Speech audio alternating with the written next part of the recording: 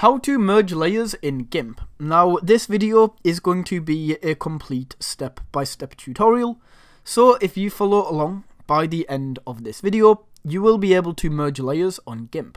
Okay, so to do this, you just want to load up your GIMP project right here. And basically what you need to do is make sure these layers are placed next to each other. So as you can see, I have my duck and also the chipmunk that are placed next to each other like over here, you can see chipmunk, duck next to each other. So once you have made sure they are next to each other, all you need to do is go to the layer that is on the top and right click on this. It is going to open up this drop down menu. So from here, you can see the option that says merge down. That is why we need them to be on top of each other.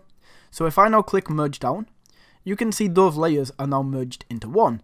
And that is how you can merge layers on GIMP.